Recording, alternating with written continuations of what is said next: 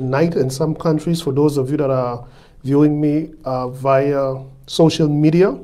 That would be uh, my five Facebook pages. That would be my YouTube page. That would be my Twitter page.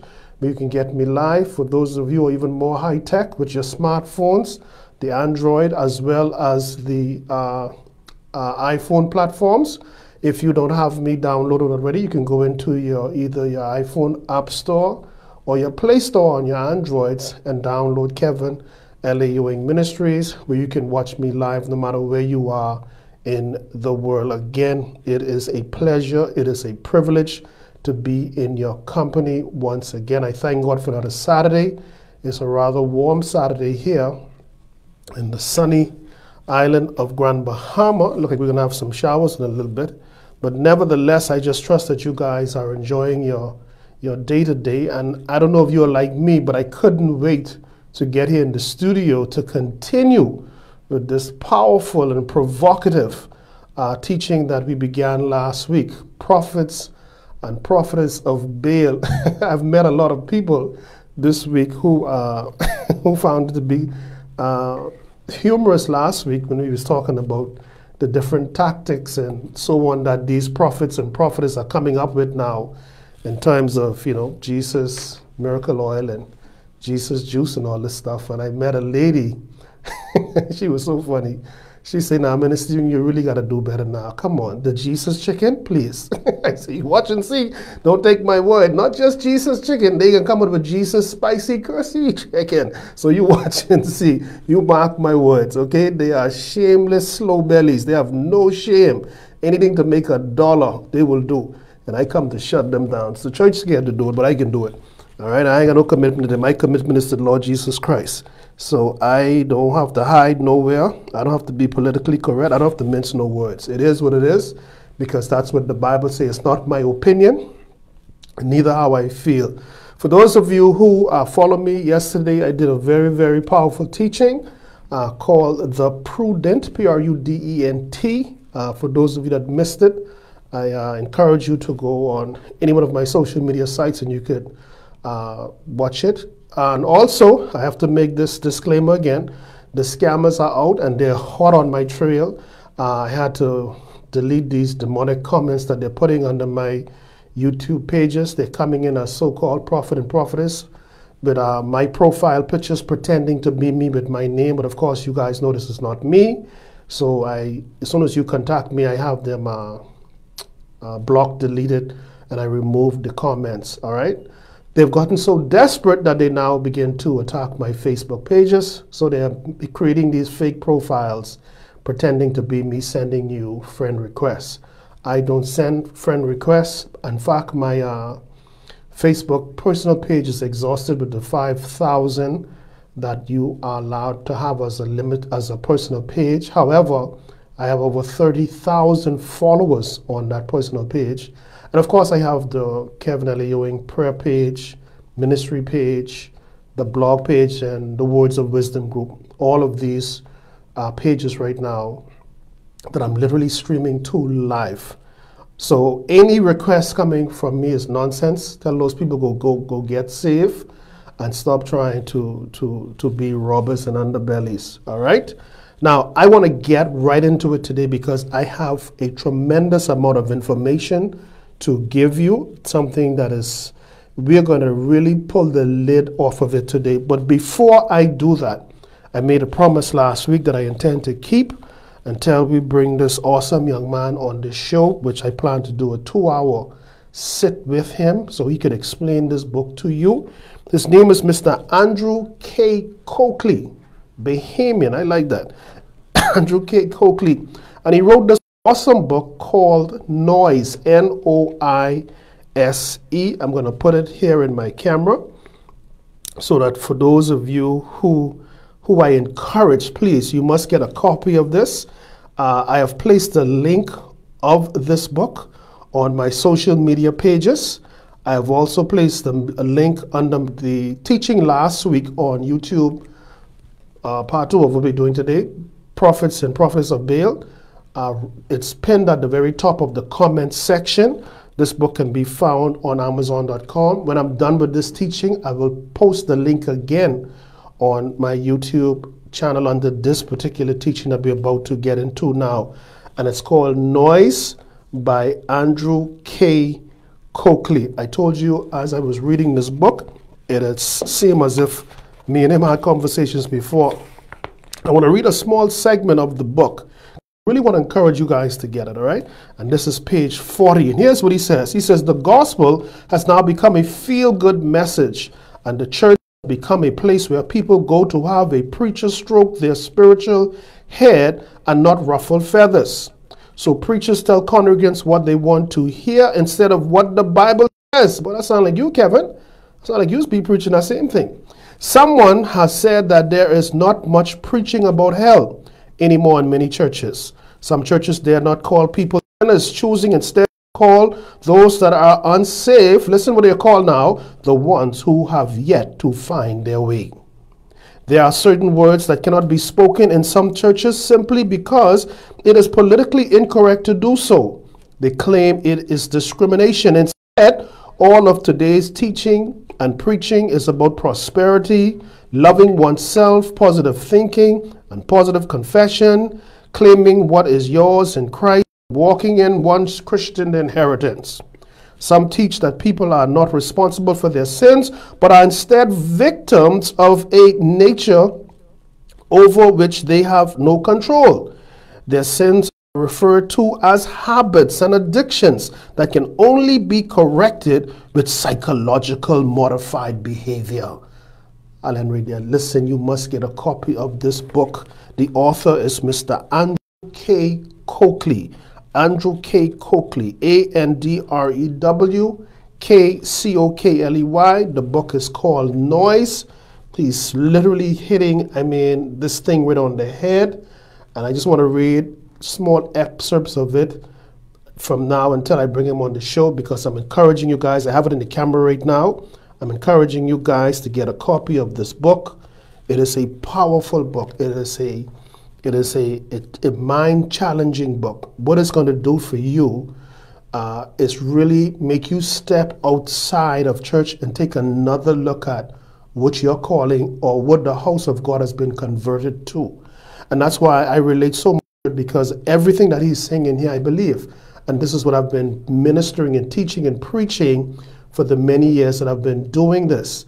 The church, and, and again, I put my disclaimer out there not all churches are this way but a vast and a majority of them, the ones that are not this way, is in a small, small percentage. I will go as far as saying 10 to 20% of those that do not do these things because it's become the way of, of the way that they do things now. So I encourage you to get a copy uh, of that book. All right, and I want to get straight into today's teaching because, like I say, I have a lot to cover.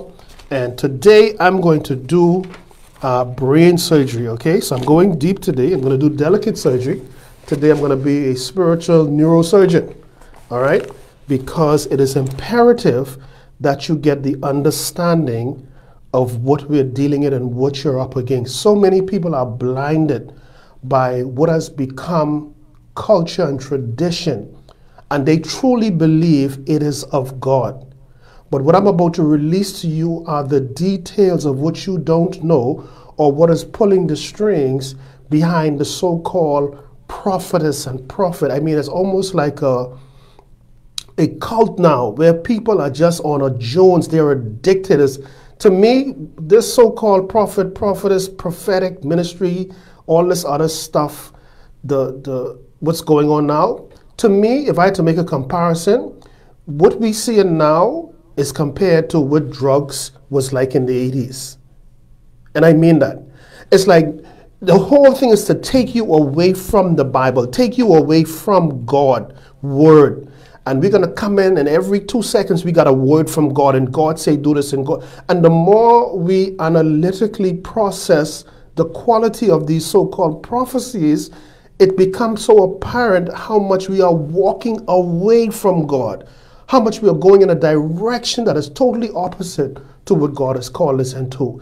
We have been trained to revere and to give all of our monies and give all of our cars and homes and material possession to these vultures, to these money hogs. That's what we are trained to do. And when we don't do it, they now take it to the next level. They can actually curse you now. They could stop your finances and shut down your business through a, a spiritual declaration. See, and one will be fearful of these, these people because they're ignorant to the word of God. And that is where Kevin comes in. Kevin is coming in to show you the scriptural protocols, the scriptural laws, rules, and principles that you need to be focused on. Not these people, these robbers who will pay for it if they don't repent one day. When everything, and just like uh, Mr. Coakley, Andrew Coakley said in this book that I just read, it's like the whole Christianity is all about self, all about prosperity and the prophetic. Again, let me put my disclaimers out there. I'm not saying that there's something wrong with the prophetic.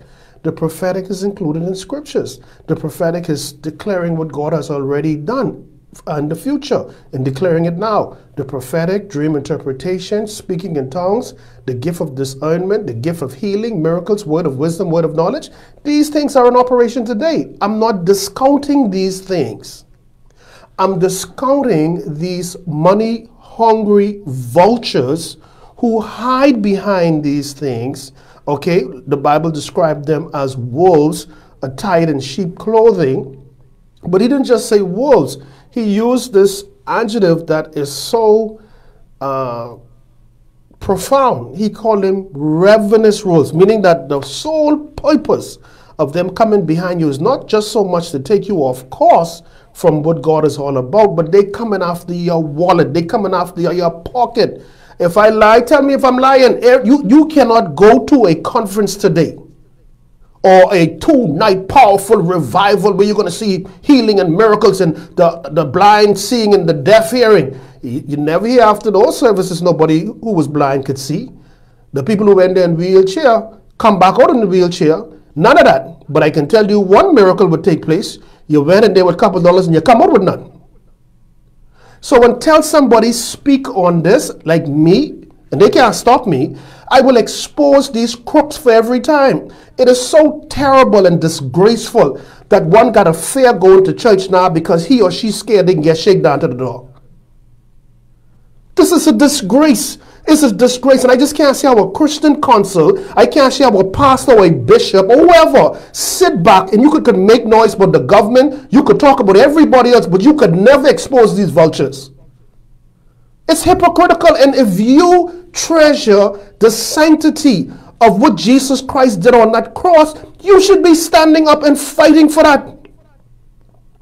But no, everybody jumps on board now and you got to sow a seed. Every, everything is seed. It, it is so sickening, I'm telling you. I need some Pepto Bismol. That's what I need. That's how sickening it is right now. I need some kind of Eno or something because it's just filth in my in my view. And people sit back and absorb it. Oh don't touch the woman of god. Watch out now. Okay so what if 500 of the prophecies she gave never came to pass? Let god deal with her. You can't judge her. That ain't what my bible telling me. That's not what my bible is telling me. And this is what we're about to to plan. So, let me do a quick survey or review sorry of what we did last week. And i'm going to spend about five minutes on this and i'm going to jump into today's teaching which is a prophet and prophetess of Baal, part two. Last week, I immediately went into some definitions, and these definitions were vital for you to hear and to understand because it is the core of how these money hungry vultures, that's my definition of them, rob you and rape you financially. And I talk about familiar spirit. I spoke about it, I defined that to you. I'm not going to go into detail with that please go back to my video part one of this teaching and that'll give you the breakdown. I also spoke about divination. I said to you, I'm referring to them as prophets of Baal, which because that is the God that is sponsoring or that is supporting them. That is the God that is giving them these so called prophetic words to give to you, but it has nothing to do with God. I went into Matthew 7, verse 15, where Jesus made this powerful declaration when he says, to beware of these false prophets who are going to come to you as wolves, really, but they're shrouded or clothed in sheep clothing, right? And he called them ravenous wolves because the point he's trying to express here and to put emphasis on is that you you can know them. You, you, how you gonna know them? Everything is gonna be about money, See, That's The new term is seed, seed, seed, seed. You don't hear but salvation. You don't hear but hellfire. You don't hear but live right, righteous life. No. And if you do hear about that, it's going to come with an invoice at the end of it. You got to give a seed again. You got to get fed up. How could you not be sick of this? You know how many people I sit with who don't go to church and don't plan to go to church no more? They rather stay home and watch some YouTube channel and listen to somebody preach the word of God where they could finally not hear someone put an invoice at them as soon as this person declare or decree a word from the Lord. And you all need to stop. I wish the government could put in laws to lock these people up. Wicked man. So we talked about uh, these vultures, and Jesus made a statement that we're going to talk about also in the 20th verse of Matthew 7. And he also made it in verse 16 of Matthew 7 after he described who these vultures are, how they're coming attired, and what their main purpose is, which is seed. That's why he called them ravenous wolves. And a raven, ravening wolf means to rob or to secretly loot, to bring to ruin, to grab, to take by either force, to confiscate, by intimidation. God is going to curse you if you don't come up right here now and sow a seed, your business ain't going to flow. That's devil talk. And, I, and to me, I'm just so in awe that no preacher speaks about this. How you, well, you can't if you're doing it, eh? If you're doing it too. When could we come to the house of God? You know how many people coming into these places who are broken, people who are on the edge of ending their life, people who just feel like killing them and their children because they can't take care of their children, they can't feed them. You know how many men out there fighting all kind of mental issues, all of these things happening. So he said, finally, let me go to God house. Maybe the preacher God can use him today or her today and speak a word so that could change my view on life right now. Only for no matter how much depression you're going through, you better, if you want that depression go, you better come up off that seat. I can never, I promise Jesus Christ, as long as I have air in my breath to preach the gospel, I will expose these crooks for every time. Everything. Jesus, you have a revival somewhere, you got to buy a cloth, you got to pay for oil, you got to pay for water. And now you attach a miracle to it. When are we going to trust in the Bible? When are we going to trust in the Word of God? When is that Word going to become our confidence? Bunch of crooks. Anyway, the scripture that I loved most of last week was Lamentations 2, verse 14, right? And it's a very, very profound scripture. In fact, I'm going to turn there right now before I go into part two of this, because I'm showing you what these people are doing to you. They are destroying your life with the pack of lies that are leaving their lips, that they are labeling as the word of God. And anybody who's offended of what I'm saying, it is you that I'm speaking to. Because if you are a, a, a child of righteousness and you study and believe this word, you would agree with everything what I'm saying because what I'm saying is coming from the scriptures. That's where it's coming from. But you letting this clown on the pulpit telling you nonsense that if you want your leg healed, if you want your children come off drugs, come sow a seed. Boy, I tell you, bunch of crooks. Anyway, Lamentations chapter 2, and we're going to look at verse 14. Lamentation chapter 2, verse 14. And this is a scripture that stood out to me as it relates to these, these financial rapists, right? Uh, Lamentations 2, verse 14 says, Thy prophets have seen vain, foolish things. Remember, I expanded on that last week.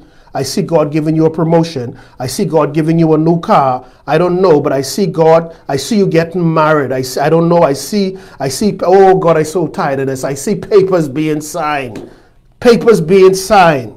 The enemies you see today, you will see no more. The Egyptians, I mean, you know what? Why don't you all do a record and sell it? Because this is the same nonsense you hear every day. But the Bible is telling us here in Lamentations 2, verse 14, it says, Thy prophets have seen vain and foolish things for thee, and they have not discovered your iniquity. When are they going to say, Yes, I do see these things, but I also see where you have unconfessed sin in your life. I also see where you are violating the laws of God, you are in breach of the commandments. He said, But they're not telling you these things. As a result of that, listen what the scripture says.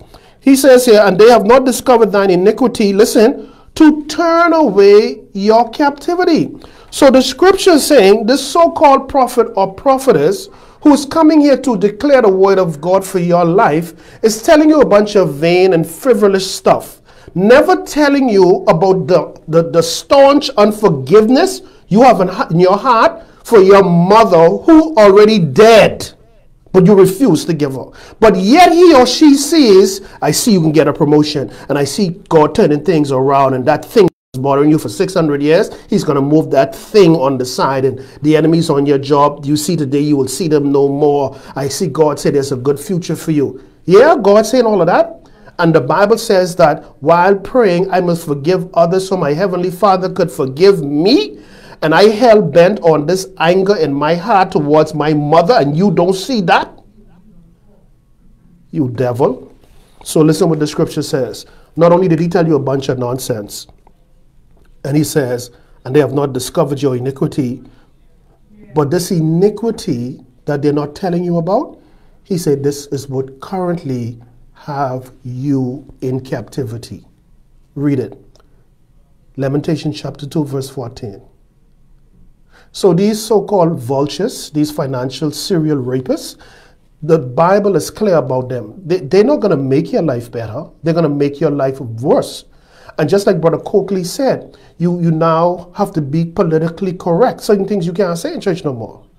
Especially when it comes to conviction of sin. So no, so understand that we can't do that now, then let's just preach them happy.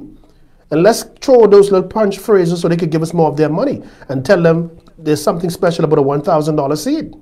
And when you give God that for some reason, he forget all the other ones who only gave a penny, two dollars, five dollars, and he runs straight to you, give a thousand. Which scripture can I use again?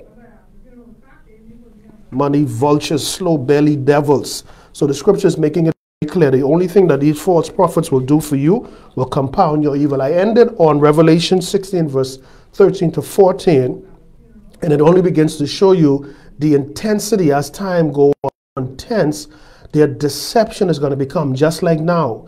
And in that scripture, it says how the trinity of the kingdom of darkness, which was the dragon, the beast, and the false prophet, and how these uh, spirits that had the appearance of frogs were coming out of their mouths, they were able to.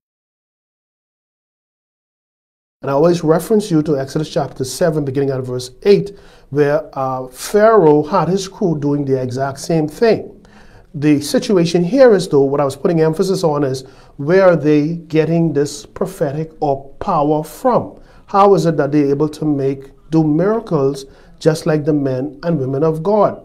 So this is really what this teaching is about, is to show you how to differentiate. And the only way that you can do that, you have to step back. You have to pull yourself out of the web that you're in because as long as you're there, you're not going to see it. But once you step back and now let me let me revert to the scriptures that gives me the identifiers to expose these slow belly devils. And that's the, other than that, you, you probably somewhere in some some church you've been given seed for the past 10 years. Nothing is happening in your life. And you and you you you mind you, you would have uh, moments where you'd be like, boy, this ain't making no sense only for them to encourage you again. You know, some, you know, uh, you know, Abraham, glory be to God. When God came to him, it took 25 years before this happened, you know. So you can't put a timeline and blah, blah, blah, blah, blah. Yeah, yeah. But it's ironic, though, that I can't put a timeline on it, but you could. Preacher, liar. And how is that? God say, come, come, come right now, the $500. Come, come, come, come with the $1,000. You could put a timeline on it, but I can't. But I don't know why people can fall for this. Anyway, Today we can get into part two of this teaching, and it's going to be very thought provoking, right?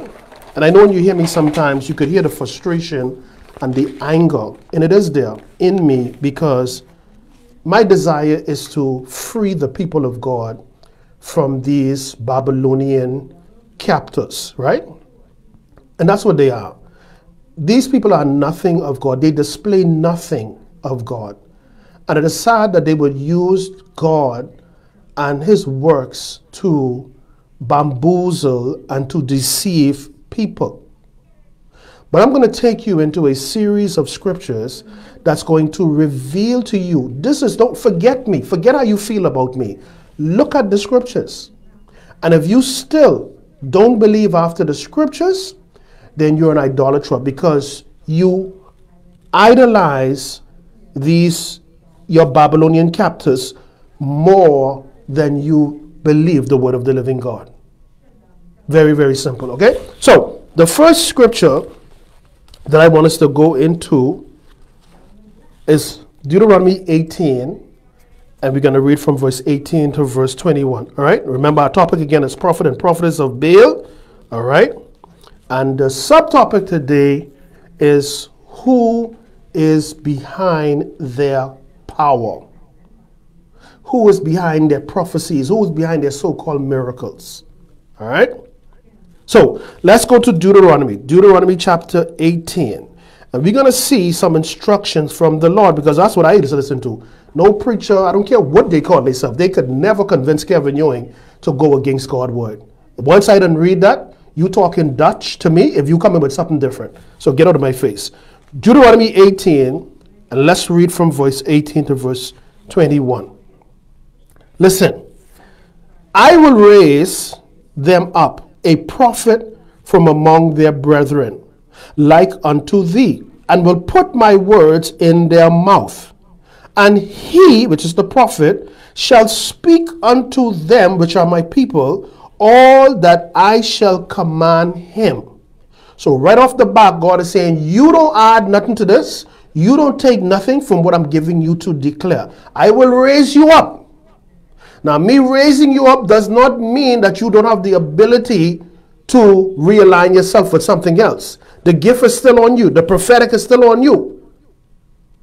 And it's still up to you to be used by God and for His glory and for what He has called you to do, or you could take those same gifts and work for the kingdom of darkness. So God is making the rules clear from the get go in verse 18 of Deuteronomy 18, right? Now listen to verse 19. And it shall come to pass that whosoever will not hearken or listen unto my words, which he shall speak in my name, I will require it of him. So God is saying here, once I use you, prophet, whoever, to declare a word to a people, a group, a city, a president, whoever.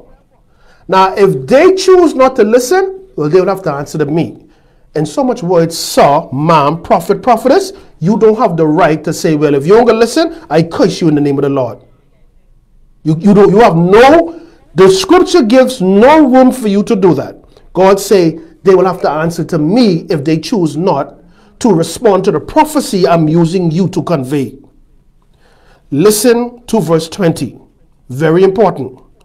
But the prophet which shall presume to speak a word in my name, which I have not commanded him to speak, or that shall speak in the name, listen carefully, of other gods, small g, even that prophet shall die. Now, the reason why I want us to put emphasis on that latter statement is because the scriptures are making very clear that prophecies are not only limited to the, from the kingdom of God. He's basically saying here that a so called prophet could be hearing a voice, could be hearing a spiritual command or declaration, but it does not necessarily mean it's coming from the kingdom of God. Because he's saying here in verse 20, the latter part of verse 20, he says, verse 20 says, But the prophet which shall presume or assume to speak a word in my name, which I have not commanded him to speak, or that shall speak in the name of other gods. So they're making declaration. God says he's going to do this for you. And I hear God says, do this and do this and do that and do this. Now, if you are a prophetic junkie, meaning you're not interested in the word of God, you want to know praise and worship, you want to none of that. I come here to get a word from God. That's it. Then you are the ideal candidate to be fooled by these slow belly vultures. You are the people that they're looking for because you're not going to size it up with scriptural text. You're not going to, like the Bereans did, make sure that this is, you won't do none of that. So the scripture is saying here, they have the capacity to speak, claiming to speak as an oracle of the God of Abraham, but the reality is they're speaking as a voice of another God. The Bible says when they do this, let me tell you something. These so-called prophets and prophets today who making these declarations, and when they don't come to pass, they try to come up with some lie. You, you hear what the law does, right? that when their prophecy don't come to pass and they claim that was from God, the rule was we must kill them. This, this what the Old Testament laws were. So listen to verse 21. And, it, and if thou say in thine heart, How shall we know the word which the Lord had spoken? When a prophet speaketh in the name of the Lord, if the thing followed not, nor come to pass, that is the thing which the Lord had not spoken, but the prophet had spoken it presumptuously, thou shalt not be afraid of him. Don't. So what is the scripture saying? The same, the opposite of what these clowns saying today. What are they saying? Oh, now I hear him say that uh, uh, uh, Donald Trump was going to win. I hear that. Now, even though it didn't come to pass, don't, don't touch the man of God. Don't touch the prophetess. That's God's anointed. Whoa, whoa, whoa, whoa, whoa, whoa, whoa, whoa, whoa. That's not what I'm reading here. Let me read what the scripture is saying. Verse 22 of Deuteronomy 18 for the biblically illiterate. All right? When a prophet speaketh in the name of the Lord, if the thing followed not, you said Trump was going to win, he didn't win. If the thing followed not, nor come to pass, that is the thing which the Lord had not spoken, but the prophet had spoken it presumptuously or off of his own will. The Bible is clear. Thou shalt not be afraid of him. Don't touch God's anointed. You declaring something God didn't say, don't touch God's anointed. Somebody else in here, because somebody else anointed it, because it can't be you. See, let me tell you something. The days of trying to put fear in those who are biblically inclined are over, all right? And people need to get into the Word of God and read what the scriptures say. And any pastor, preacher, prophet, prophetess, or church that have their members in fear because their false prophecies are not coming to pass and so on, whatever the case may be. Boy, look here, you, you have no right. You have no right to hold nobody captive. Go get saved. That's what you need to do. Telling lies and the lies are coming to pass. Now you mad with the people because your false gods put a player number on you. You try that. Now let's go to Deuteronomy 13. Deuteronomy 13, we're going to read from verse 1 to verse 5. All right? What does it say? If there arise among you a prophet or a dreamer of dreams, and giveth thee a sign or a wonder, and the sign or the wonder come to pass, listen carefully now, listen carefully. The prophetic word, or they say God showed them a dream or whatever, the prophetic word of the dream actually came to pass. Listen carefully what the scripture says. Let me start again. If there is among you a prophet or a dreamer of dreams, and giveth thee a sign or a wonder. And the sign or the wonder came to pass, whereof he spoke unto thee, saying, Listen, let us go after other gods. So he's saying, I'm teaching you people how to be observant. Yes, what he said come to pass. Who he told me, he told me that I was going to get a new car, but I wouldn't have had to pay for it. Somebody was going to bless me. Okay, that's fine. He told me he had a dream about me, and he saw me working his job wearing a nice business outfit. And it came to pass, oh my God, this is the man of God. He said, no, no, no, no, no, no, no. The test ain't finished yet. He said, after giving you those prophecies that actually came to pass, but now he's saying, okay, you see they come to pass, so you know he's a man of God, okay? Now let's go after another God. Now, in today's terms, he's not going to say that to you like that. He isn't going to say, now, Kevin, you see, I told you you was going to be on the radio and you see you on the radio, right? Okay? Now, he's not going to say, now, let's go serve Baphomet. Let's go serve Baal. Let's go down by the beach and worship the conch shells. No, he ain't going to say that. So, Kevin, how is he going to address it in today's world? He's going to say, now, if you want to keep those blessings flowing in your life, I have a red cloth here. You could purchase this for $1,500. And wherever you take this red cloth, the blessings are going to flow with you.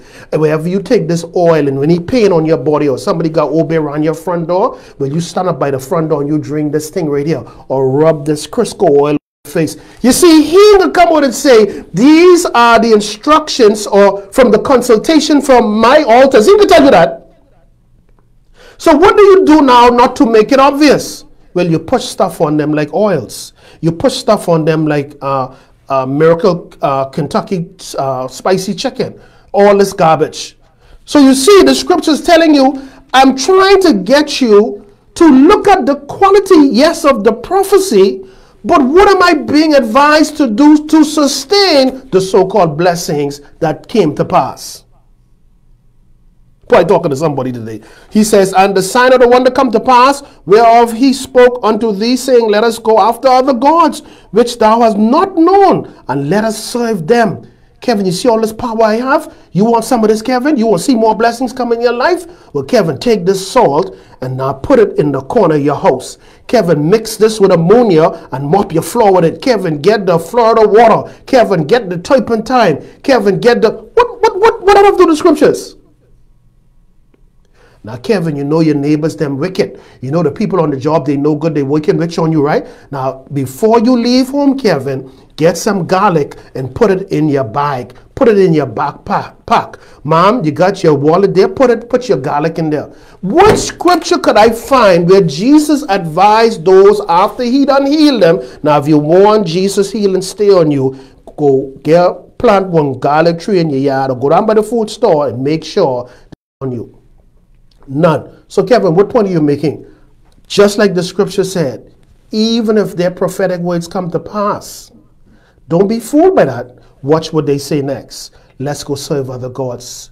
Let's go do this to other gods. And they can come and tell you like that. They can say, now, now you need to buy this miracle pillow, okay? Or you need this uh, uh, Jesus, like I say, Jesus spicy chicken. And when you bite into this, no demon could come on you. But you see, because you're a prophetic junkie, you're not interested in what the Bible has to say. You don't want to hear people like Kevin. This man tell me something to come to pass. I believe him. I ain't running no cross reference or check with this. So this is why a lot of people are enslaved to these people. Watch what the scripture goes on to say. Verse 3 says of Deuteronomy 13, Thou shalt not hearken unto the words of that prophet or that dreamer of dreams. So you hear what saying now? His prophetic word came to pass. But if he's saying, let's go, go do something that is contrary to the word of God, the Bible is clear. Thou shalt not hearken unto the words of that prophet. But your people telling you, don't touch the man of God, leave the woman of God alone. So they're telling you to go against what God is saying. They're building fear in you, anxiety in you. Oh Lord, I saw that seed in prophetess life. Oh Jesus. Oh Lord. That's why they hold up my bank. No, you accepted a curse that's what you did. That had nothing to do with the God of Abraham. So he says, Thou shalt not hearken unto the words of that prophet or that dreamer of dreams, for the Lord your God proveth you to know whether you love the Lord your God with all your heart and with all your soul. God says, I'm allowing this to happen to see whose side you on. Every two words prophetess say, prophetess say this, prophetess say drink. What did God say? What is it in His word that, that you are following? Child prophet say, put this, put when, when, when your enemy do this to you, get Psalms 91. Don't read it. Open it and put it under your pillow. And what I'm supposed to do? The scripture is supposed to jump on you and heal you? Child prophet say, put these beads around your arm and, and the devil see it, he can run the next way. What scripture can I find this? Verse 4. Sorry, verse 3. Thou shalt not hearken unto the words of the prophet or that dreamer of dreams, for the Lord your God proveth you to know whether you love the Lord your God with all your heart and with all your soul. Verse 4. You shall walk after the Lord your God and fear him and keep his commandments, not prophetess, not prophet. And keep his commandments and listen and obey his voice and you shall serve him and cleave to him. Who is this him? The God of Abraham, the God of Isaac, the God of Jacob. Verse 5 of Deuteronomy 13. And that prophet or that dreamer of dreams shall be put to death. Now, you see, let me set up properly for this because I can't take this no more. Y'all, people just come at me, Kevin, you just be so rough on them, man. I rough? God said, kill him. and you call him me God. But why would God institute such a harsh punishment? Because they are ruining the destiny. That is no different than your decent child who you educated and some person put them on drugs. And that child today with a bachelor's degree and never found their way because some selfish person who wanted to be rich give your child drugs and your child wandering, wandering the streets today. Can you imagine every time you see that drug dealer and you know it was him, you know that's who your child used to buy drugs from? Wouldn't you be infuriated? Would you be sad to you grinding to wake in the morning and your child walking the highway in their underwear unkept, eating out of the garbage? How would you feel? So this is how God feel. God is no different. God said, put that, put them, kill them. Because all they are are destiny destroyers. God called you to minister his word. God called you to send you all over the world to preach. And they got you nailed down, worshiping them in their devil kingdoms. You should be angry about that. We're the Christian counselors. This is the issues you need to be dealing with. You're watching people's lives being destroyed by spiritual drug dealers. And who are they? These fake prophet and prophetess. These casino rollers playing with people's life. But they could do it because the people are ignorant to the scriptures. Nobody's teaching them these things. All you hear is sow a seed. No, man, you got to be upset. They are spiritual drug dealers. They are giving you stuff that's going to destroy you and take you off your destiny. Did you try that? They, that's what I equate them to. They are no different from the drug dealers of the 80s and the 90s. They are no different from a Pablo Escobar. They are no different from whoever drug dealer you know. They are no different from them because what they are giving you, what they are feeding you, what they are teaching you is contrary to the word of God. And any bishop, an apostle, or whoever you call yourself, sit back and pander these fools, you are no different from them. Now you deal with it. Come get me if you come. Come get me right now. Because at the end of the day, see, people don't feel it until it happened to them. You see, when when somebody else child on drugs walk in the street, eating up the garbage, got dogs following them, unkept, you, you turn your head the next way. My God, where's family is? Jesus, come on, you don't think they come here and beat him, and uh, take him and wash his hair? My Lord, you go about your business, you go, go get your breakfast, your coffee in the morning, and live your regular life, right? Until it happened to you. Or you want the whole world go on pause now and come to help you address this matter, you hypocrite. No, man, and that's why I tell you the, ch the churches will be no better. You will have a congregation pack of people that are enslaved, never living in the liberty of Christ because you've allowed this financial serial rapist okay, this spiritual drug dealer to come in here and declare things from a God, small g, that has nothing to do with the God of Abraham. And that's what you buy it into. Well, you say I harsh. Well, let me see what the Bible say. Because I read early in Deuteronomy 18, put them to death. And I'm reading again here in Deuteronomy 18, verse 5. So shalt thou put the evil away from the midst of thee. How you can do that? He said, kill him. Now, when I read it in years past, I just be like, boy, God, that's kind of harsh. And excuse me, I used to agree with people when they used to say, boy, you keep talking about your God is a loving God, but look like he, you know, he, when he get mad, he, he, he can spank you, he can kill you. And I used to be like, boy, that's true now, until I see the grav- sort of gravity of it.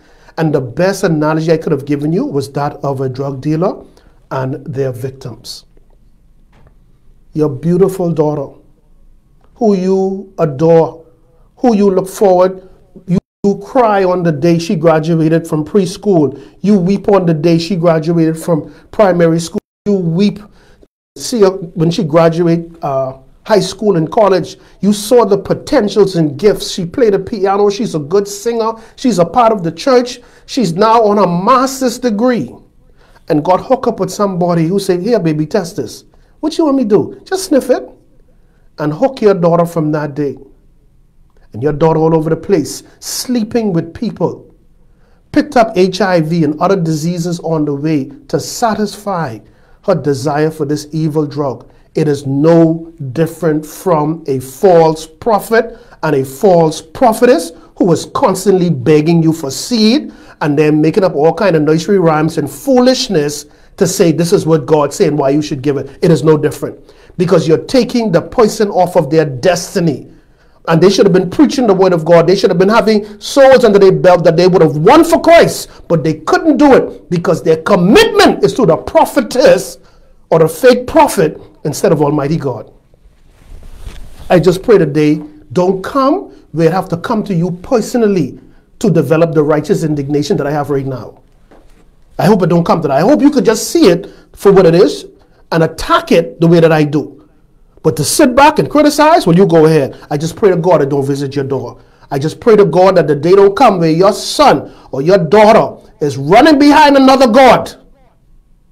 And then you find your way to Kevin. Oh, Kevin, I've been listening to you. I ain't gonna lie, Kevin. I didn't agree with the things you said before, but oh, Jesus, it, it come to my door now. Oh, it come to your door now. Or now, now you to see me now. No, boy, uh-uh. I ain't playing with them. So the, Jesus made it very clear. But God made it initially clear to tell you how to identify these vultures, how to identify these money hungry. See, and I keep using the word vultures and money hungry crooks because Jesus himself said in Matthew 7, verse 15. In fact, let's read that because I want you to understand the intensity of what Jesus is trying to convey here.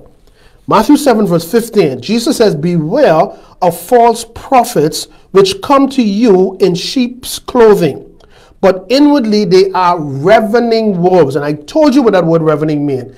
It means those who are only after your pocket, they are robbers.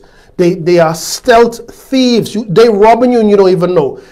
And the bottom line is this all they're about is their finances, wealth, and lifestyle. So now that they have already acquired this off of your back. And this is watch, watch how crafty they are. They now stand up on the pulpits. Look what God has done for me. Look here, my wife have a brand new 2021 Lexus. My grandson, who only two months old, I buy him a whole Rolls Royce. And I got all my dogs, them, they got Lamborghinis and all of that, right? Look how God has blessed me. Now listen what he's calling the blessing. He's putting a demand on you to pay 10%, even though the Bible don't require it. He's telling you got to sow first fruit, last fruit, third fruit, billy goat fruit, jump around, kangaroo fruit, everybody else fruit. You need seed, apple, you need all of this. He's the only one who's getting it. Now he show he showed you how stupid you are. Look what God has done for me. He didn't do it for you, but look what he did for me. Look what he did on, at, at your expense, at, on your backs. Listen, I just wish the government could put a law in place where they could introduce public flogging for these people. What what they doing to people? Like I say, y'all will never feel it until it happened to y'all or it happened to your children. See, that's when people come to reality. You letting these people just rob you, rob you blind, and you you are in such awe when you hear Doctor, Reverend, so and so, Apostle to the third power. You just razzle and dazzle. But I don't care what you call yourself. If you can't bring me that word, I ain't listening to you. Jesus said in verse 16 of Matthew 7, You shall know them by their fruit. Oh, I love that piece. You shall know them by their fruit. First Corinthians, sorry, Galatians chapter 5. All right? Beginning at verse 16, speaks about the fruit of the Spirit meekness, gentleness, love, joy, peace these are the things. But then I also see some fruits or the manifestation of the flesh witchcraft, idolatry, all of these things that represent or are indicative of the false prophet and prophetess. People, if we go by the laws of God, we can identify these people right away. None of them are telling you give to the poor. None of them are telling you look out for your neighbor. None of them. Everything is give a seed to, to, to, to, to, to put a down payment on your blessing or to, to release your blessing, you got to sow a seed. Nowhere are you being encouraged to help your fellow brother and sister. No, just give it all to the preacher, give it all to the church, and God is going to bless you, even though there's no scriptures for it. But nobody wants to hear that. No, they got their uh, damage control committee. Oh, they coming to fight you. They coming to. Oh no, you always coming to the man. No, okay. Now that now that you know that I always coming for the man. Now, I get you heard my scriptures, right? Now show me yours. Don't come change no narrative. Show me where God say, if I give my money to the prophetess, if I give it to the pastor, if I give it to the church, he can drop a sack of money in the sky for me. He can give me a brand new. Show it to me. Show it to me. Show me where he says, if I give it to the church, I will not lack anymore. Show it. Show me where it says, if I give it to you, pastor, I, I'll be debt free. No, but I can show you where if I give it to the poor, what will happen to me.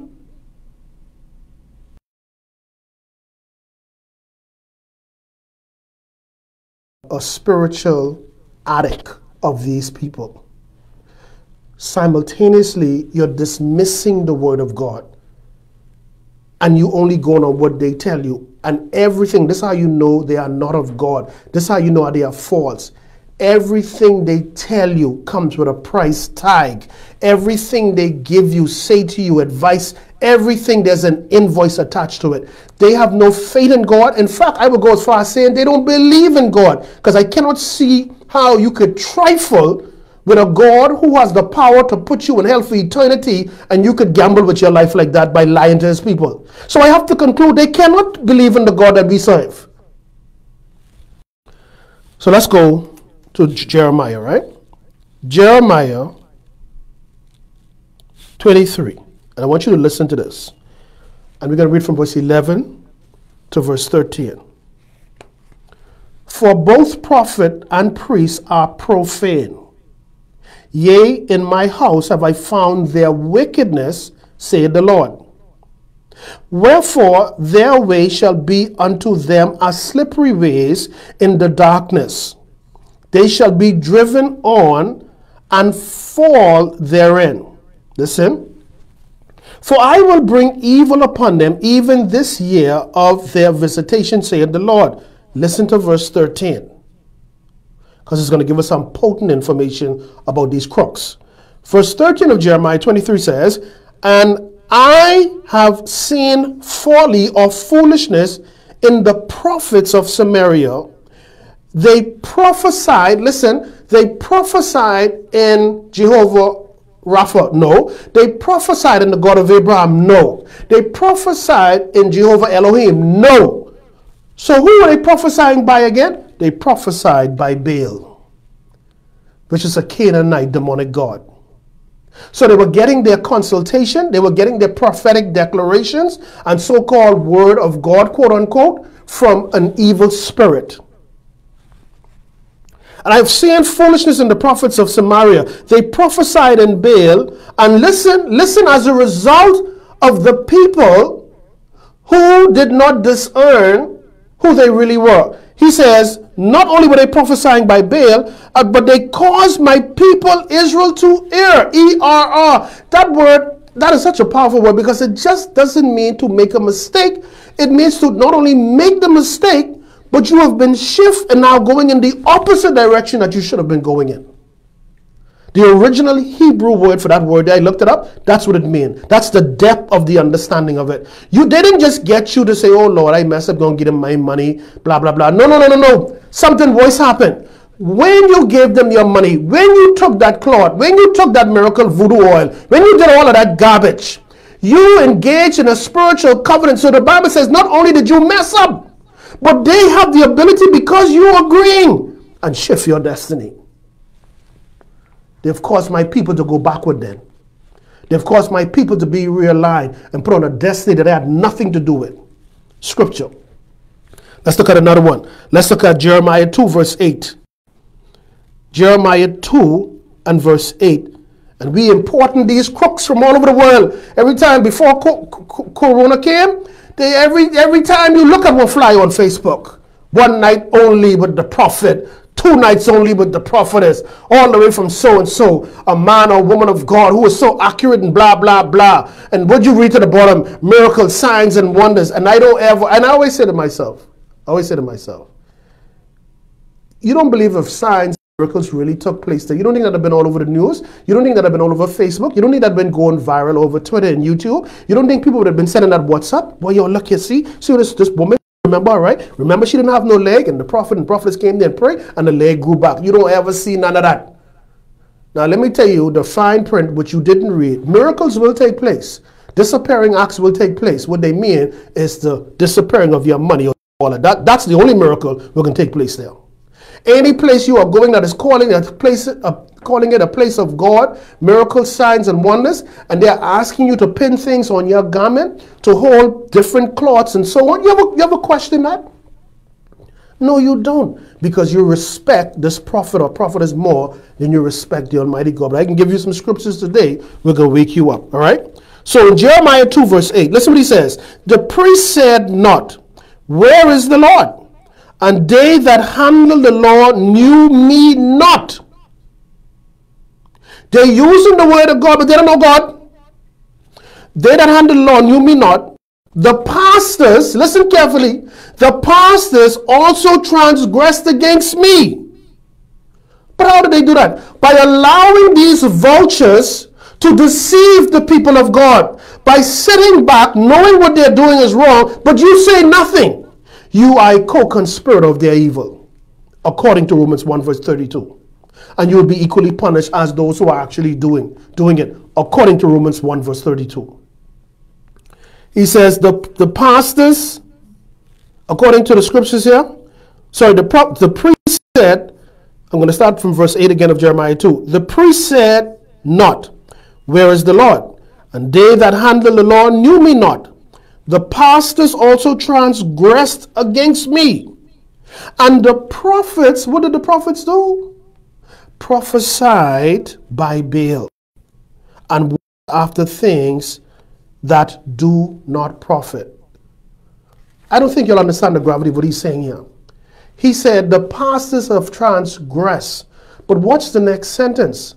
Because it's really explaining how they transgress. He says, The pastors also transgressed against me. And the prophet and prophetess were prophesying according to Baal. So the pastor sit back and he knew. He knew.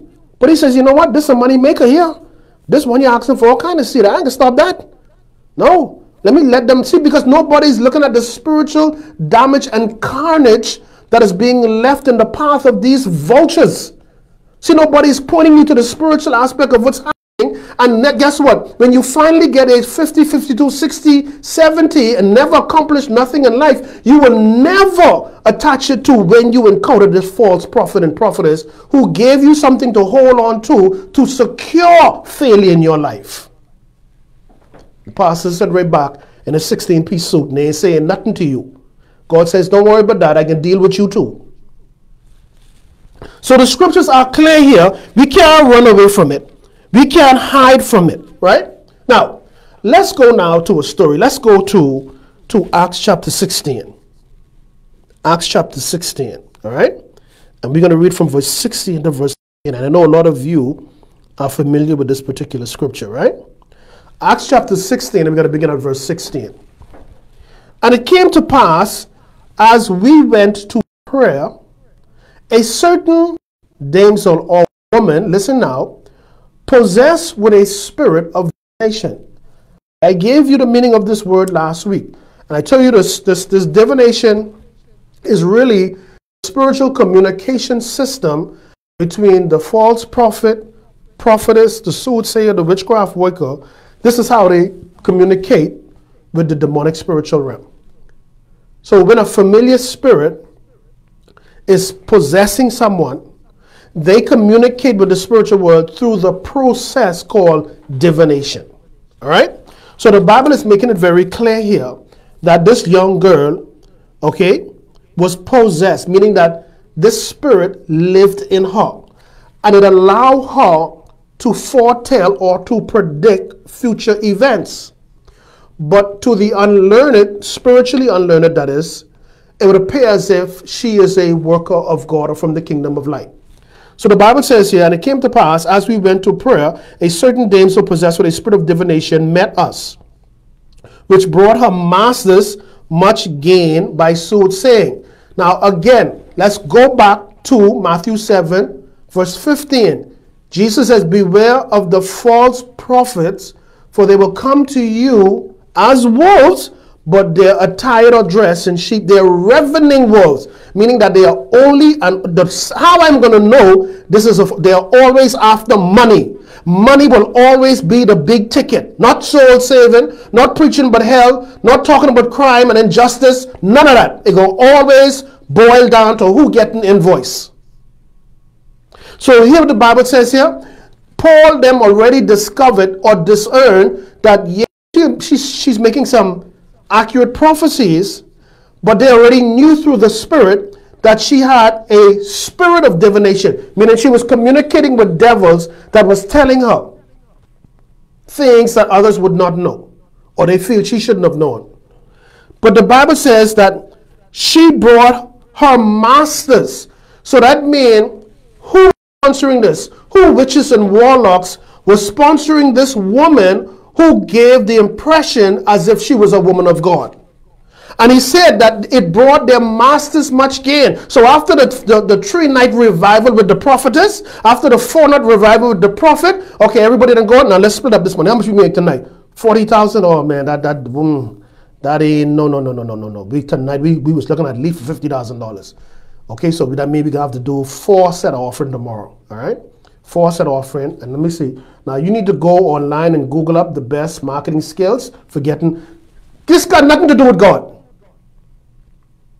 This have nothing to do with God. But again, where you so churchy and I got to be in church, I got to hear from the man of God. You need to hear from God. You need to get into your Bible. You need to pray. You need to fast. You the Bible says you, not the prophet, you, not your pastor, you, not the bishop, you, not you must work out your own salvation. That is your responsibility.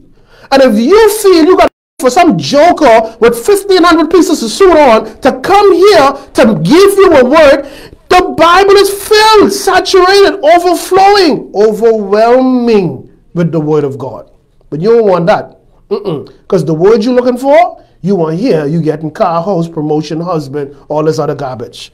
So they know, they know just how to target and, and, and use someone like you. So the Bible says here, and it came to pass, as we went to pray, a certain damsel possessed with a spirit of divination met us, which brought her masters much gain by soothsaying, or predicting the future. Verse 17 of, of Acts 16.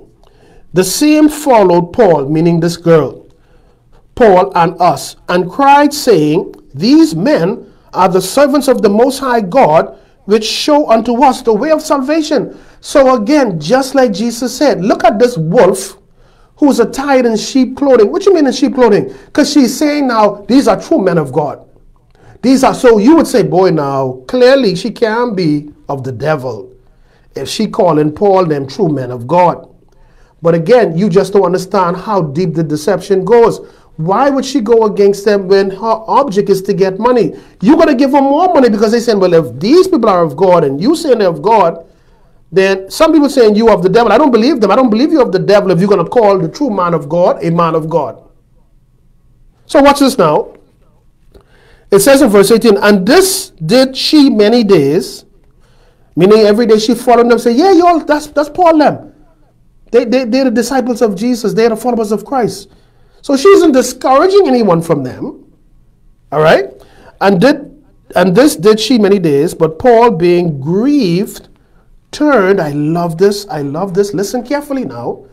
Listen carefully. Paul was so upset, he finally turned around and he said, Listen to what he said. He said to the Spirit, he ain't talking to the woman, because you know the woman is only a tool or a body that the spirit of divination is using. The spirit that's giving her these prophecies and these so called prophetic words, Paul says, I'm addressing you not the woman, because she is just a, a, a, a house that he's the spirit is inhabiting.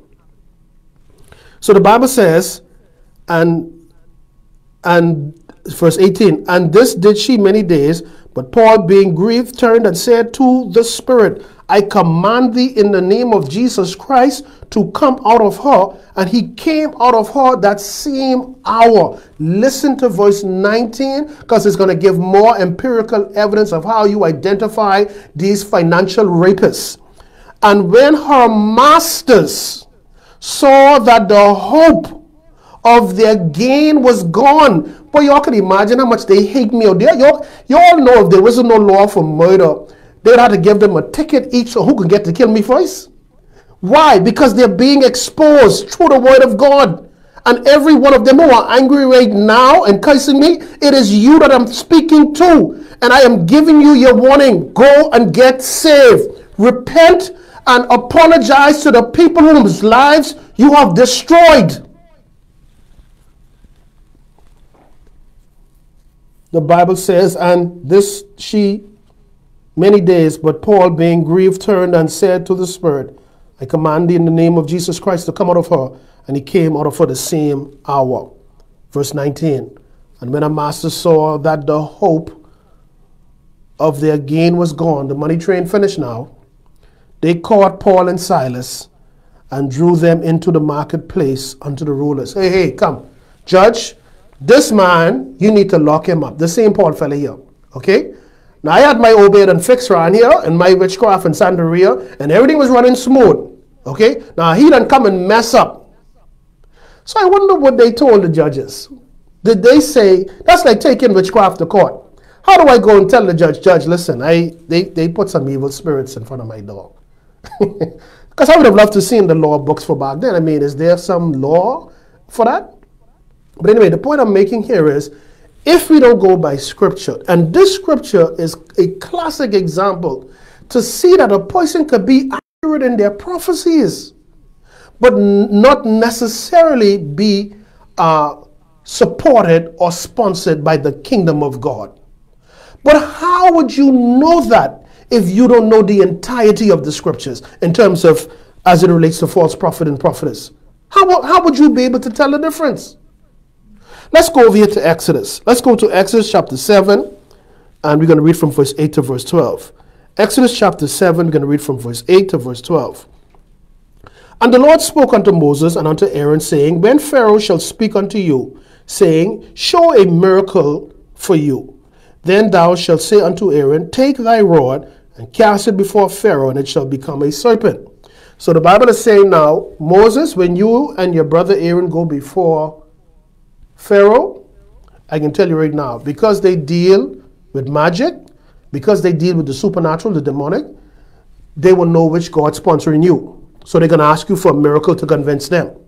So he says, now when he does that, you tell Aaron to take his staff and throw it to the ground, and it will become a serpent. See, back then, just like now, these people dealt with the supernatural. Don't mind what they put on the outside. Don't mind the cloth and the pow pow puff puff. Behind what they're saying, behind what they're doing is entirely demonic. And anyone who's participating in that with them or who they claim to be delivering, but all they're doing is loading you up with devils.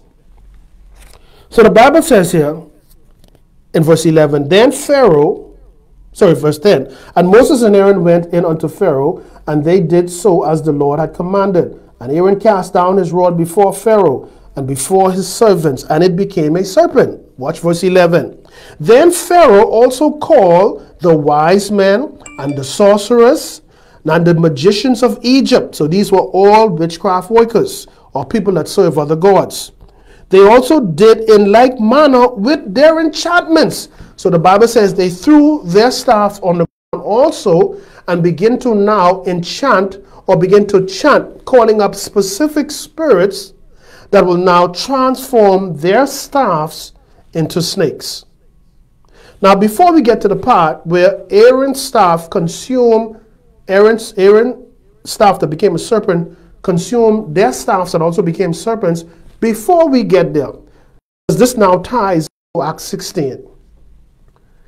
If you don't know these things that I'm telling you, and the only thing you're thriving on is, I can't wait for my breakthrough to come. I need to hear from a prophet or prophetess. How are you able to decipher that the prophet or the prophetess that's declaring and speaking into your life, that you have fully opened your life up to, because you don't understand, you have no idea the spiritual protocols that you're following when you open up yourself and you say, I receive, speak, prophesy, Papa, prophesy, prophet, prophesy, prophetess, I receive, prophetess. You realize if this person is a false prophet, declaring stuff into your life from the kingdom of darkness. Now, do you see the spiritual implications that you are taking on? See, they got you because I hear God. Look how they dress in the case for you. God says that that woman that took your husband, I see God restoring your marriage. I see you all building together. All of these nice things they're telling you. Now, watch the next move. God says, Hold your hand up and read, woman of God, do you receive the prophecy? Oh, yes, I receive the prophecy. From who? Who is sponsoring what she's saying? Who sponsored the damsel back in the day of Paul who was possessed with a spirit of divination because she was declaring some, some stuff that came to pass. In fact, in fact, she was affirming that Paul and his crew was from God. But who was sponsoring these so-called prophetic prophecies? What did they put on that cloth? What did they put in that water? Where did they have that oil? What did they chant over that? But because there are wolves in sheep clothing, and you so gung ho over prophecies, you taking it every day, you drinking it every day. You know what? It it will amaze you to see the statistics of those who went to these places for healing and took all of these cloths and oils and look at the deaths. Look how many of them had died a premature death as a result of it. Why? Because they had no idea that when they took those things as a point of contact, they were being initiated to those altars and would become a sacrifice and would be added to the credit of that false prophet and prophetess. They didn't know that because they don't read these things and nobody's going to teach them that. So they, they're proud to tell people, child, when I wake up in the morning, not I went and pray and tell God to cover my children, not I put on the whole arm of God. Child, I took my oil and I put that to my front door and I don't care what old bear they got there. Ain't nothing happening. So you have more confidence in the oil than the creator of the oil, which is God. See, you walking away from God and don't even realize it. You are totally, you are in a, just like the scripture says, these false prophets who prophesy via Baal has caused my people to err. And you quick, and this is how you know it's not of God, you are quick to fight and to defend them, even though they're robbing you, even though from the time you came the, you lost your business, you lost your bank account, you've lost your home, but they're convincing you, keep giving, keep giving, keep giving, because your breakthrough can come one day. And you, you see them living high off the hog, while you, like a lackey, supporting them. Man, they should flog you publicly. They should beat you publicly to be an example to everybody else. How foolish could you be? Where did our Savior, where did God put these rules in His law that you have to jump over all of these hurdles to get? He says, listen what He said, very clear. Deuteronomy 18. Let me, let me tell you that right now. Deuteronomy chapter 18, 28. Deuteronomy, let me show you how simple it is. Deuteronomy 28, beginning at verse 1. Listen carefully. And it shall come to pass, if thou shalt hearken diligently unto the voice of the Lord thy God, which is his word, to observe and to do all his commandments, which I command thee this day, that the Lord thy God will set, I will promote you. Why are you promoting me, God? Because I give a seed? No. Because I paid for miracle oil? No. Because I got a shoulder and blow it? No. Because I put a scarf on me? No. Why are you going to promote me? Because you are following my law, Kevin. So if I follow your law, will it end there? No, no, no, Kevin, continue to read. He says, I command thee this day that the Lord thy God will set thee on high above all nations of the earth. Let's stop and let's go back to the beginning again. Because everything that he's about to promise here is hinging on the word if. And it shall come to pass, verse 1 of Deuteronomy 28. If, circle that word, it's a conjunction. Meaning that what he is about to promise you will be dependent on whether you do what he asks you to do. Did you read in here, miracle cloth, miracle, miracle chicken, uh, spicy, crispy, miracle, super strength, improved chicken? You, did you read any of that garbage? No, you didn't read it. So how could someone come to you and tell you, I see God, I see like there's some kind of inheritance, millions of dollars. God said the enemy has held it up. How did he hold it up? So, okay, how do we release it then? I hear God say you have to sow a seed of two, all I'm seeing is two zero two, 2021. God said the minute you release that, oh, no, no, no, you crook. No, no, no, you slow belly devil. I am reading from the scriptures. And it shall come to pass if thou shalt hearken diligently unto the voice of the Lord thy God to observe and to do all his commandments, you crook. All his commandments which I command thee this day, that the Lord the Lord God will set me on high. He, Kevin, I will position you for what I already put in place for you. Don't allow someone to come and add to my word. Don't allow someone to come and take from my word and to convince you to pay for it now. That person is a devil. They are not of Christ. They are no different from the damsel that was possessed by the spirit of divination in Acts 16. They are devils. Verse 2 And all these blessings shall come on thee and overtake thee. Watch the word again. If thou shalt hearken unto the voice. I didn't say if you bought the miracle cloth, if you buy the red cloth, if you buy the Jesus gloves, if you buy the Jesus slippers. I didn't read that. So, who gave you the spiritual authority to alter the word of God as it relates to releasing the blessing in our lives? Where you now could put an invoice on me. People wake up. People wake up. People wake up. Wake up. These vultures ain't playing. They ain't playing at all. All right? Now, so far I've shown you, I've shown you in Acts 16. Now we can get deep now. Now we going into deep surgery. And now put on your scuba gear, because if you ain't got on the right oxygen tank, I don't, I can't guarantee you're coming back up alive, okay? Because we go something extremely controversial right now, all right?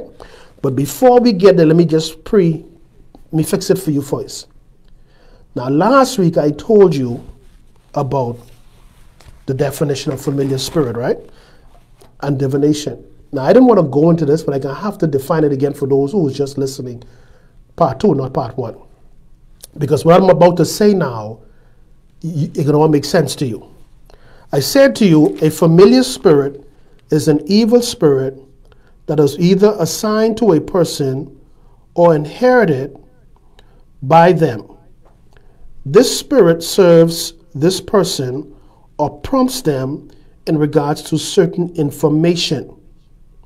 So, what that means is that a familiar spirit could be assigned to your life if there's a curse on your family, because their job is to ensure that whatever the curse, which means whatever contract was made between the spirits and whoever in your family, whether that nobody lives beyond 60, whether you never get married, whether you develop diabetes, high blood pressure, once you see a consistency of this in your family, which we call generational curses, well, the power behind that, that's enforcing those things to happen, these are familiar spirits, which are also known as masquerading spirits and so on. Because in your dreams, they will come to you as animals or deceased relatives, right?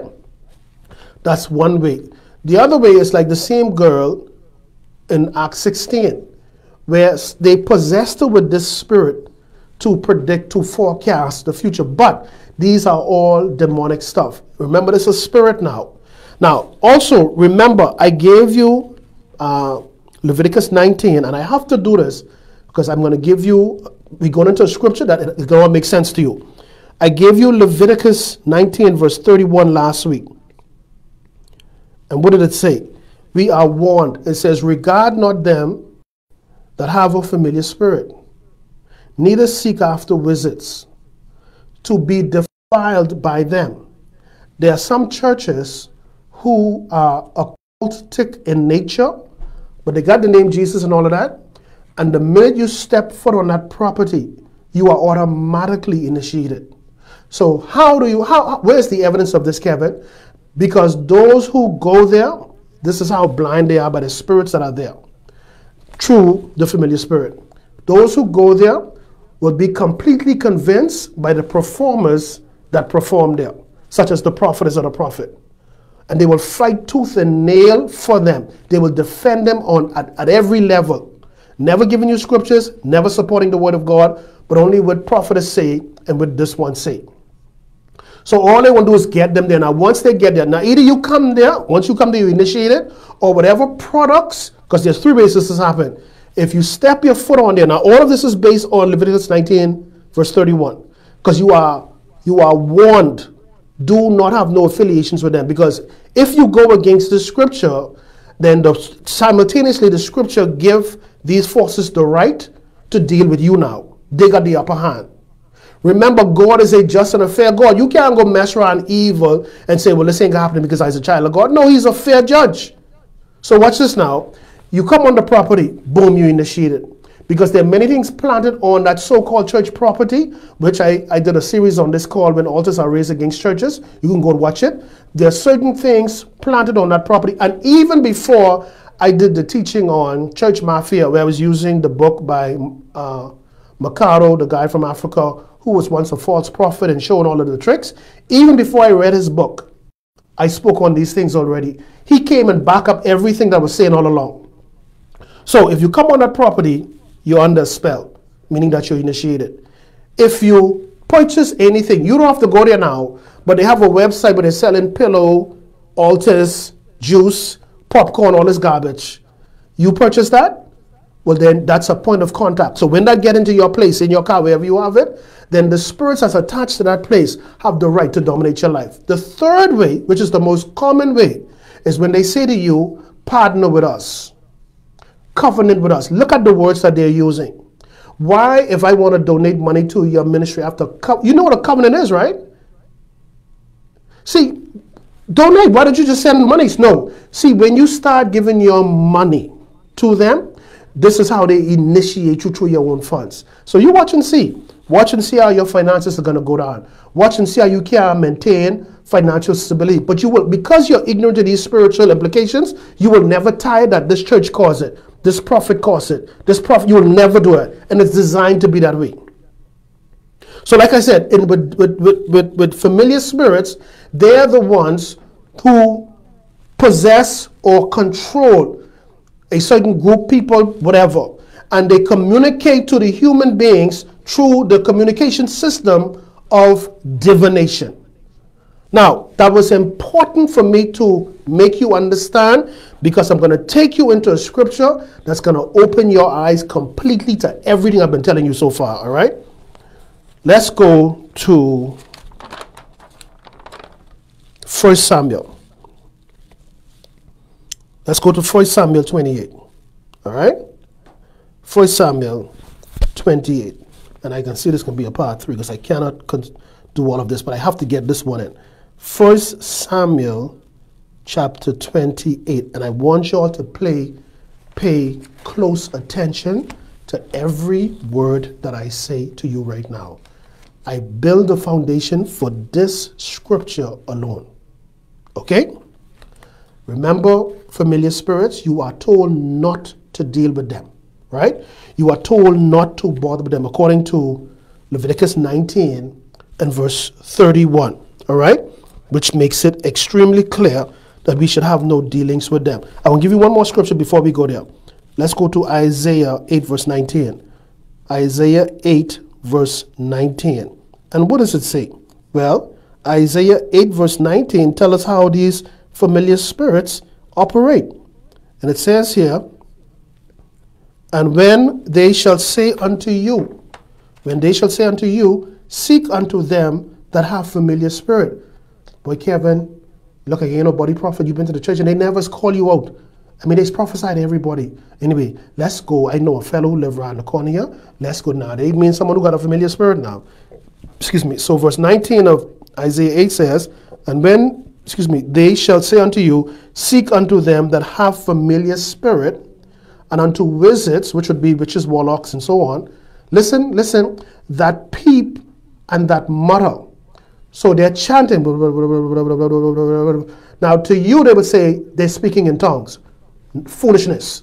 You know, tongues here. Well, they are speaking in tongues, but nothing to do with God. So they're summoning the familiar spirit who got some little surface knowledge on you. So the Bible says here in verse 19, it says, And when they shall say unto you, Seek unto them that have familiar spirit, and unto wisdom that peep and mutter, should not a people seek unto God?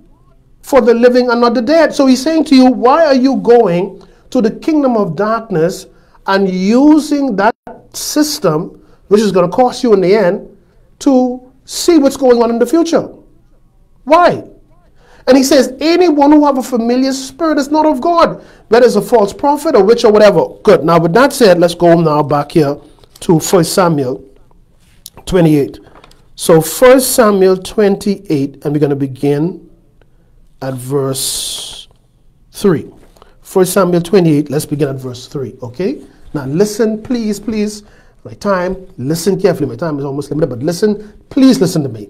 And, and remember, everything I've taught you so far divination, familiar spirit, false prophet, selling you items, all of this other stuff listen carefully. 1 Samuel 28, verse 3. Now Samuel was dead. Remember, Samuel was the infamous, or the, sorry, the famous prophet of the day, all right? Now Samuel was dead, and all Israel had lamented him and buried him in Ramah, even in his own city. And Saul, who was the king at that time, who ordained, Samuel was the one who ordained him to be king through instructions of God. It says, and Saul had put away those that had, listen, Saul, which is the king of Israel, had put away those that had familiar spirits and the wizards out of the land. So Saul, the king of Israel, the first king of Israel, when he took office, one of the first things that he did, all witches, warlocks, all false prophet and prophetess, who were all equipped by familiar spirits out of Israel. Listen to verse 4. And the Philistines gathered themselves together and came and pitched in Shunem. And Saul gathered all Israel together, and they pitched in Gilboa. Verse 5 of 1 Samuel 28. And when Saul saw that the host of the Philistines, he was afraid, and his heart greatly trembled. And when Saul inquired, this is key, this is key. And when Saul inquired of the Lord, the Lord answered him not. See, because he wasn't obedient to God anymore, so God now dismissed him. So when he inquired of the Lord, the Lord didn't answer him. Now listen the avenues that he didn't answer him, because these were the common avenues God would speak to his people. God didn't answer him by dreams, nor by Urim, U-R-I-M, nor by the prophets. So God shut down every form of communication with Saul. Who is doing this again? Let's be clear. God Almighty. Nobody could supersede the power of God, right? Let's be clear because this can all make sense. This is why I'm putting so much emphasis on it, all right? So Saul have no communication with the kingdom of light. Now watch this now. Verse 7 of 1 Samuel 28. Then said Saul unto his servants, listen carefully, seek me a woman that have a familiar spirit. In other words, seek me a witch, seek me a warlock, seek me someone who dabble in wickedness. Remember, this is the same brother who tell oh, y'all of here.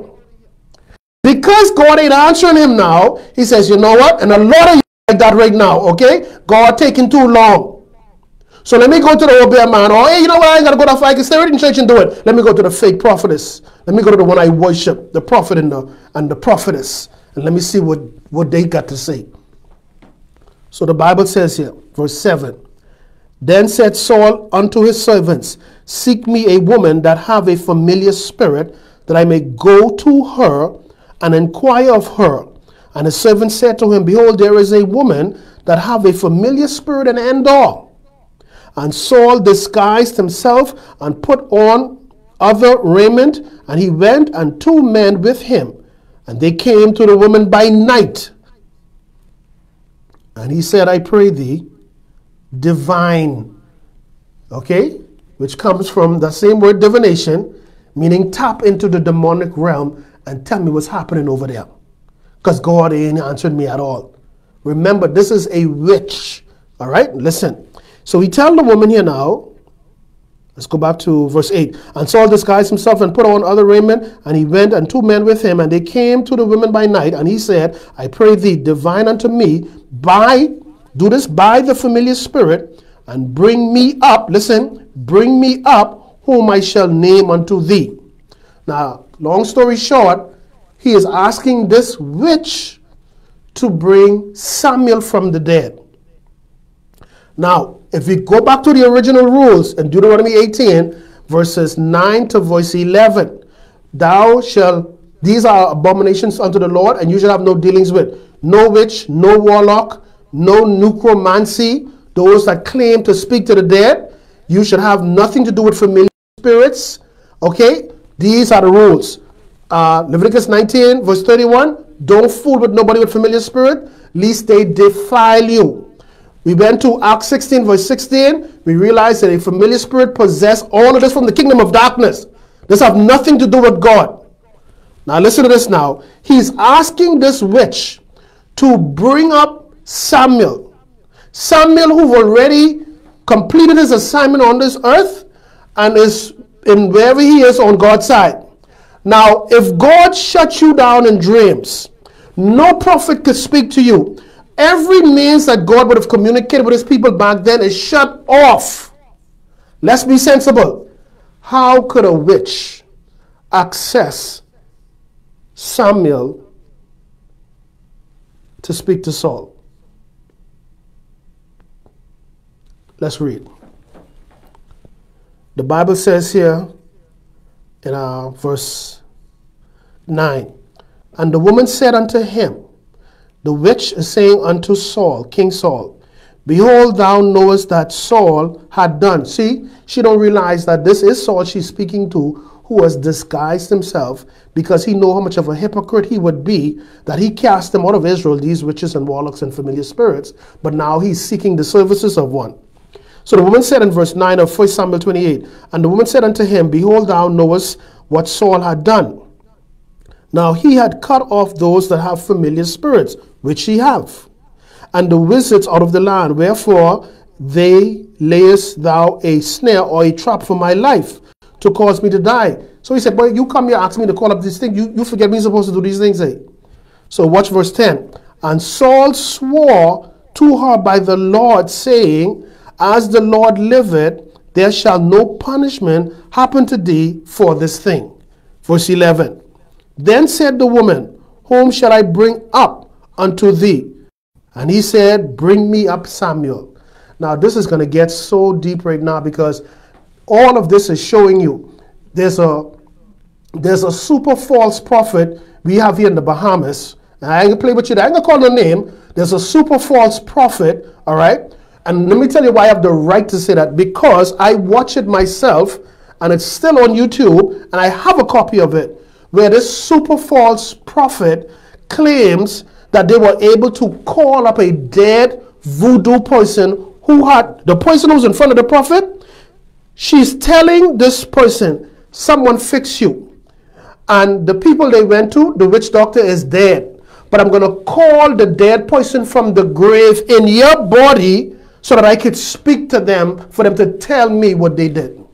Radio in the Bahamas. And I watch the people on there prophesy, woman of God, and they cheat because they don't know this information. They don't know this information. So that person who you call in prophetess, read your Bible. You are reading where a witch is claiming, a witch is claiming to call up deceased Samuel. How could the living God, who's telling you we should we could never participate in necromancy, calling up the dead. We should never be dealing with, with, with people with familiar spirit and divination. Why would God says, you know what, I shut it down in dreams. I got no prophet and prophetess speaking to you. But you know what I can do though? I can allow a witch to come into my kingdom and bring Saul out to come and speak to you. Now you got to be super stupid if you believe that. But apparently some people are because they're following these false prophets who could claim to speak to the deceased loved ones. Or mama say everything will be okay. Mama couldn't take care of me or, or protect me when she was living. How she can help me in death? Anyway, let me calm down. Let me calm down. Now listen now. Verse 11 of 1 Samuel 28.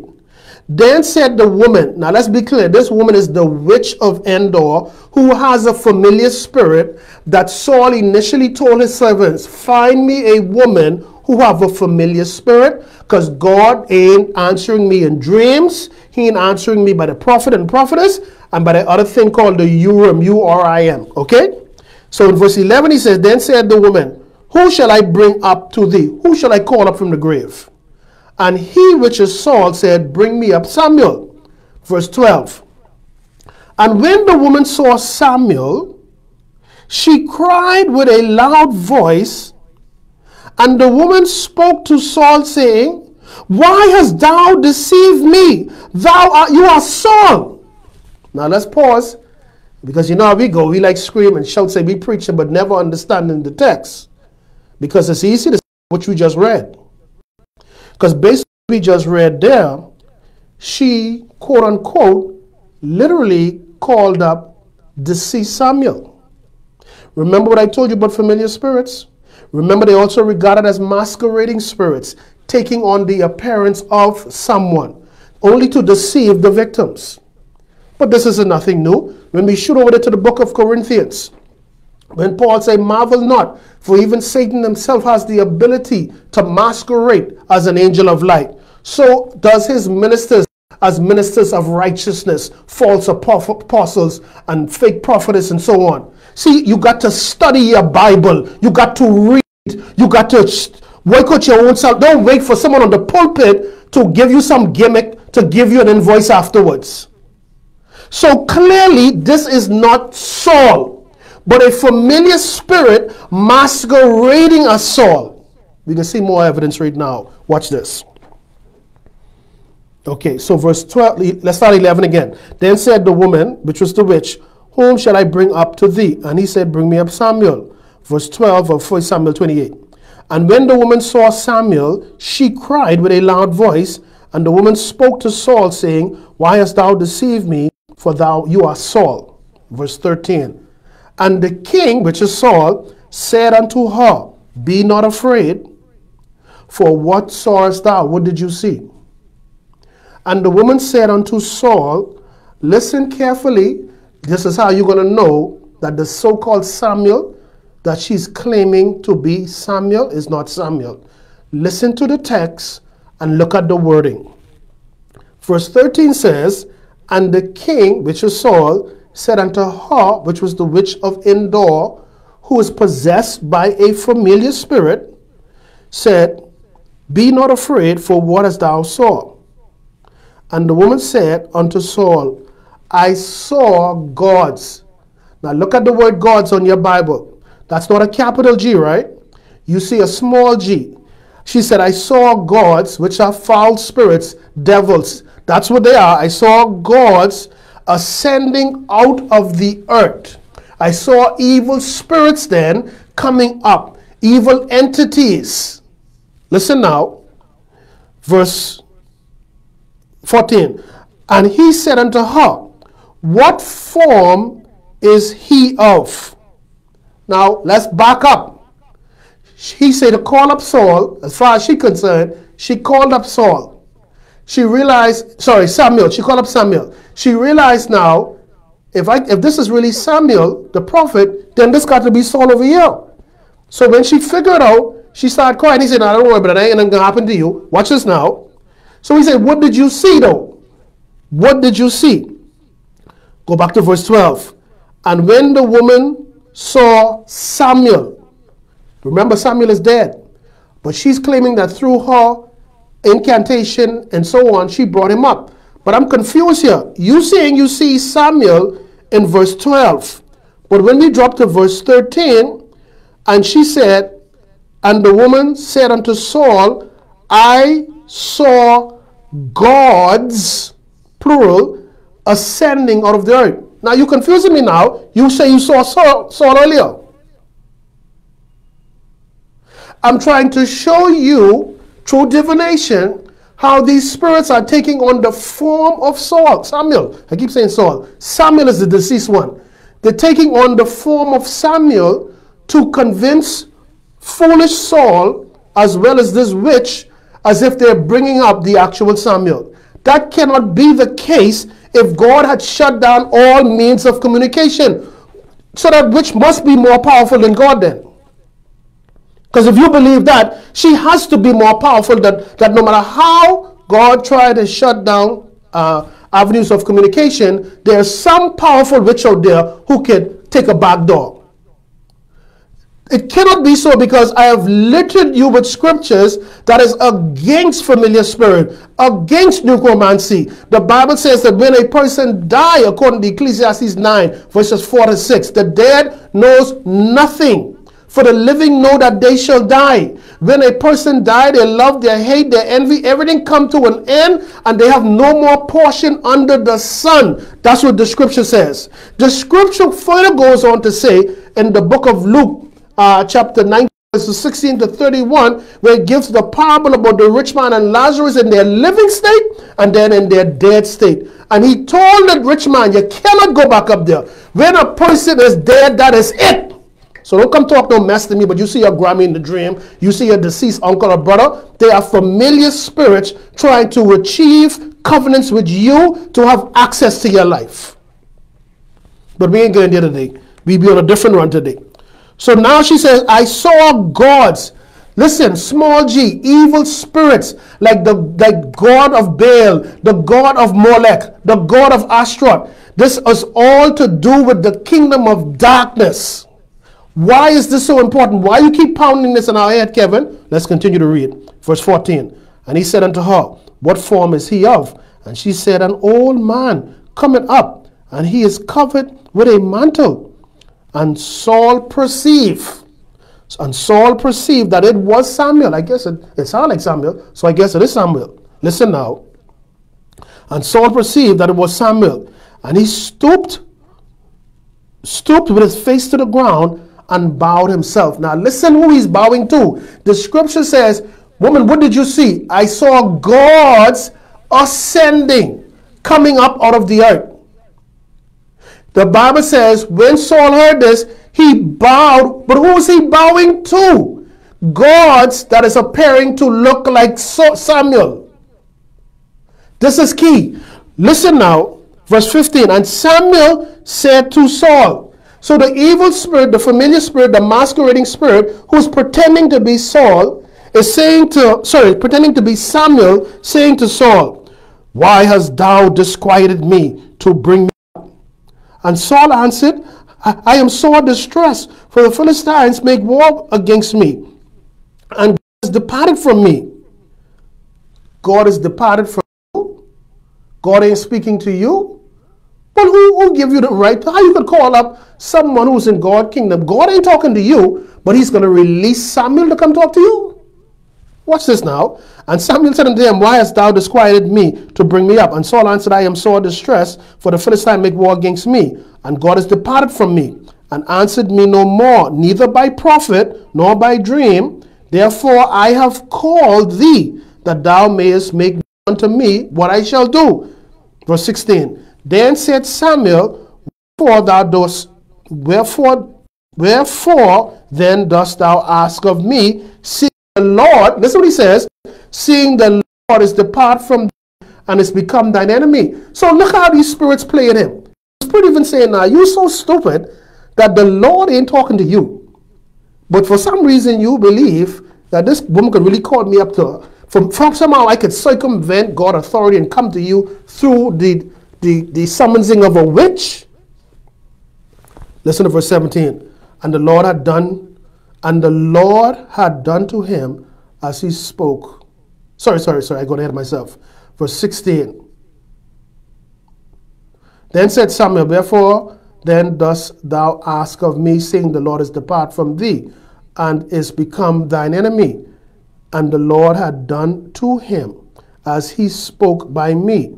For the Lord had rent or torn the kingdom out of thine hand, and give it to thy neighbor, even David, because thou obeyest not the voice of the Lord, nor executed his fierce wrath upon the Amalekites. Therefore had the Lord done thing unto thee this day. So, so far, listen, familiar spirit. They, they got information. So they're taking that information and using it on Saul now to convince them. Well, you know why the Lord is doing this to you, right? Because you disobeyed when you were supposed to kill all the Amalekites. You didn't do it. So this isn't no mystery. All of this, this is, this is why it's called a familiar spirit. They're familiar with his life, with the events and what's going on. Now they're using that information because you're going to think now this is somebody of God. This is someone of God. Watch this. Verse 18. Because thou obeyest not the voice of the Lord, nor executed his fierce wrath upon Amalek, therefore hath the Lord done this thing unto thee this day verse 19 of 1 Samuel 28. Moreover, the Lord will also deliver Israel with thee into the hand of the Philistines.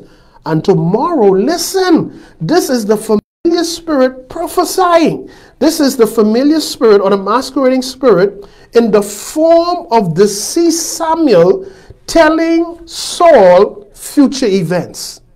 You will lose to the Philistines. And all of these things that this familiar spirit is saying is correct.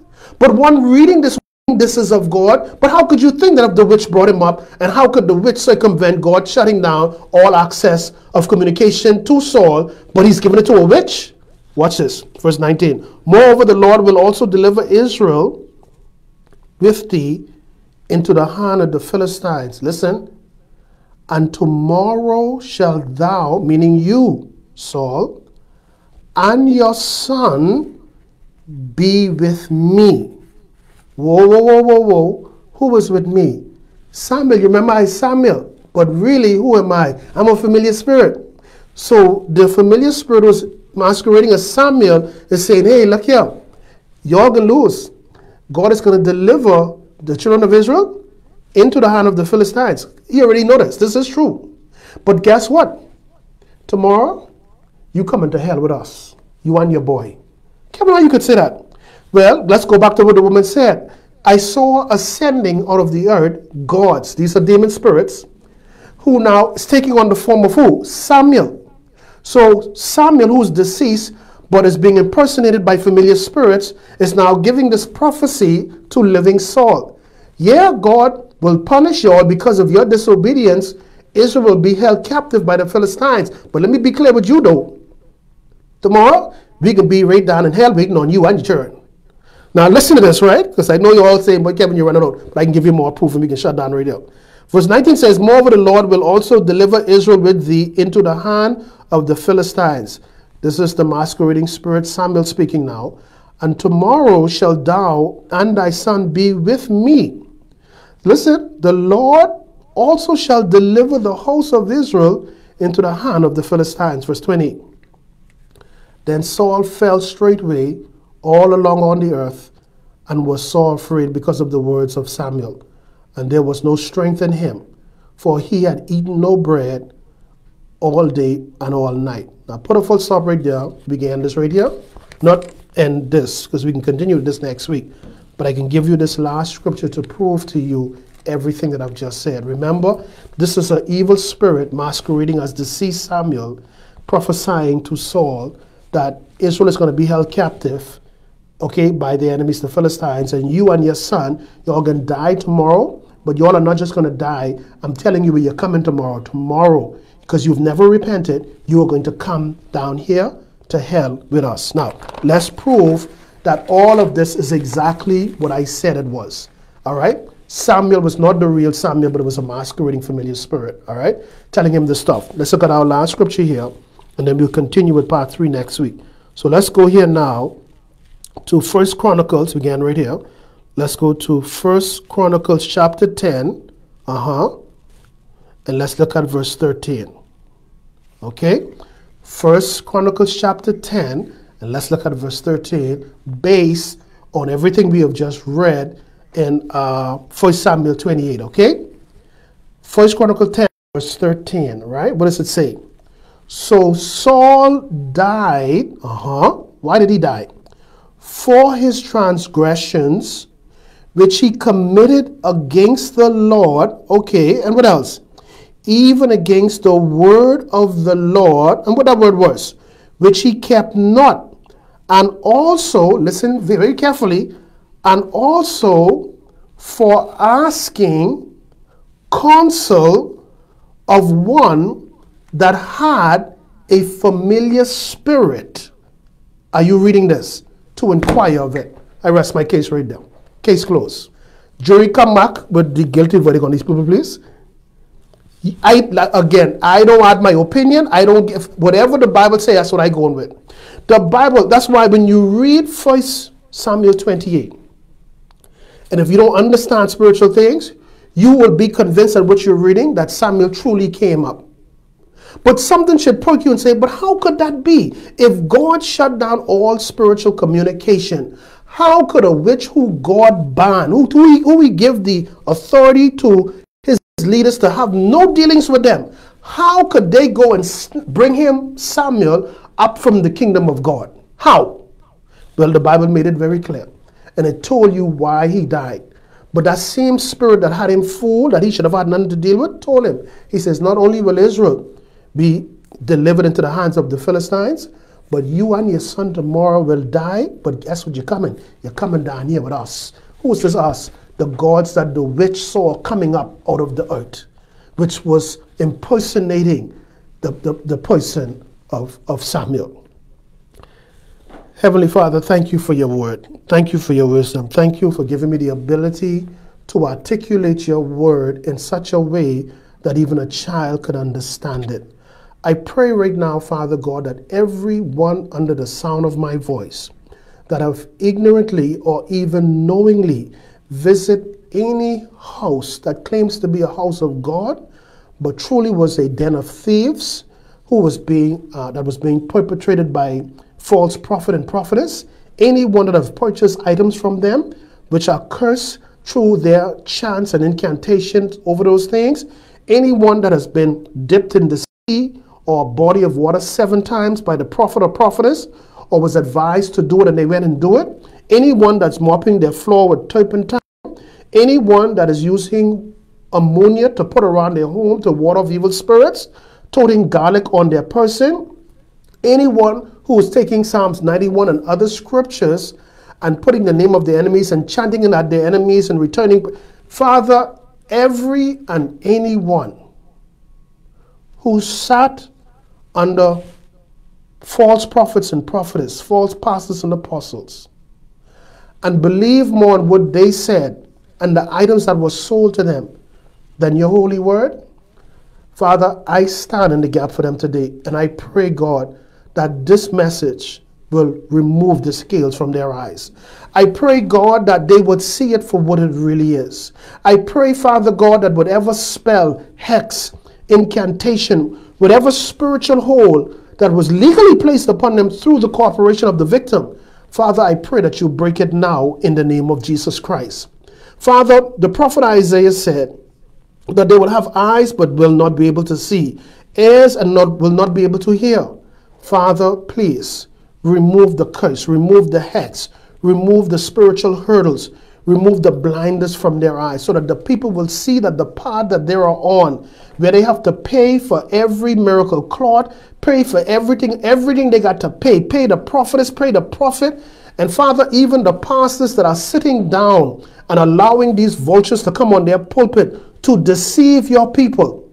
But I can't tell you judge them, but I know you will. But I pray that they will change. I pray that they will truly get saved and give their lives to the Lord and repent and apologize for what they have done to the body of Christ. Father, I pray that you will expose every evil demonic prophetess, every evil demonic prophet, every false teacher, preacher, everyone that is guiding your people meticulously to hellfire. But even before they get there, they're ensuring that they live a miserable, deceitful life, deceiving your people, making them believe that if they pay them, put money on their account, buy these demonic items, that they would be right with you. When your word is extremely clear in Deuteronomy 28, verse 1.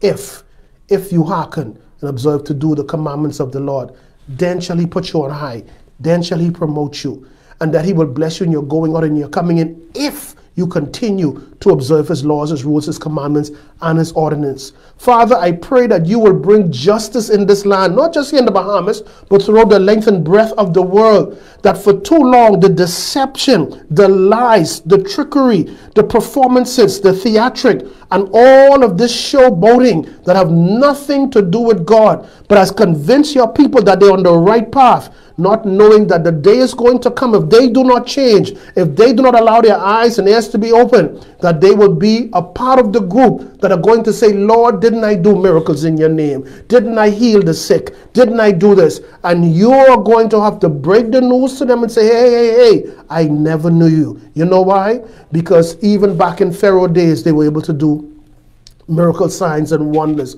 but they were not sponsored by the God of Abraham. They were sponsored by the gods of Baal. They were sponsored by the gods that came ascending out of the earth in the time of Samuel, uh, of Saul. So, Father, I pray that these truths that I'm freely giving to your people, no invoices, not asking them to sow into my life, not asking them to tap into this anointing, I pray that the people will wise up. I pray that the people will understand that when they give their money, give their seed to these demons, they are coming into agreement, they are coming into spiritual contracts, giving these vultures spiritual access to their lives, depleting and depriving them of their destiny and what God has truly called them to be and to do in the earth. Father, I pray swift justice. I pray, Father, Father, bring an end to the foolishness and, and cause your house to be restored to a house of prayer. Because for right now, and from what I see in most houses, it has truly become a den of thieves. Father, I pray, move who you need to move and bring your people who are sold out to you to come and teach the unadulterated truth to your people. No more gimmicks, no more rhymes, no more getting oily up, no more of this foolishness. But pointing your people to the word of God, pointing your people that listen, don't take my word for it. Look at the scripture. develop a relationship, a relationship with the scripture, with the word of God, not man. Let your commitment, let your commitment be to God and His word and to see the vessels of God as just that vessels, not people to be worshiped, not people to be idolized. Father, I pray that you uproot the spirit of idolatry in our land, where we worship our leaders, where we worship our apostles, worship our prophetess. Whatever they tell us to do, we do it. But if you ask us to go on a 30 second fast, we suck our teeth, we upset, we angry, we have every excuse in the world. But if they tell us, let's go down by prophetess so and so and and and and sow a hundred dollars, if we have to steal or borrow it, we will do it because we believe more than a mere mortal than we believe in the living God. Father, bring justice back here. Father God, bring your people. I know your remnant is out there. Bring them because we need them. This this this virus of deception by these fake prophet and prophetess, they are spreading worse than the pandemic. In fact, the pandemic is a joke compared to these false vultures, these slow belly swines who's stealing people money. God will judge you and show us. My name is Kevin L. A. Ewing. For you to, to spiritually rob the people of God, steal their destinies, giving them false hopes and pies in the skies. And not only that, you invoice them at the end of your deception, or you will have an encounter with the God of Abraham. Because the scriptures are clear. Colossians 3 and 25. For whatsoever wrong a man doeth, that wrong shall be returned unto him, for God is no respect of person.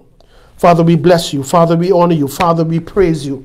And we ask these things in the matchless and in the mighty name of our Lord and Savior Jesus Christ.